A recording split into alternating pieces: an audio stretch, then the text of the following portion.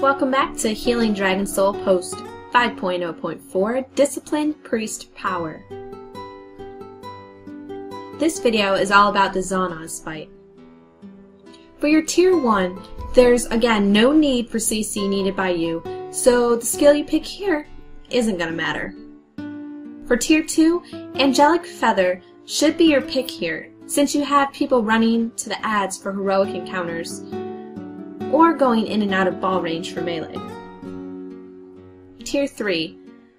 The fight is pretty mana intensive, so Mindbender seems to work best here for your return.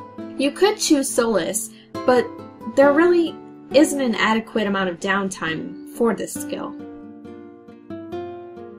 For your tier 4, again, hands down, Desperate Prayer wins in this tier. Again, don't really need to explain it, it's mana free, 30% instant self heal, and you can control it.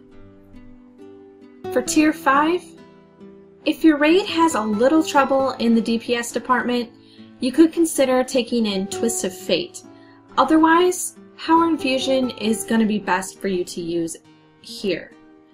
You're going to have faster cast times for the black phases, and you get to save on mana.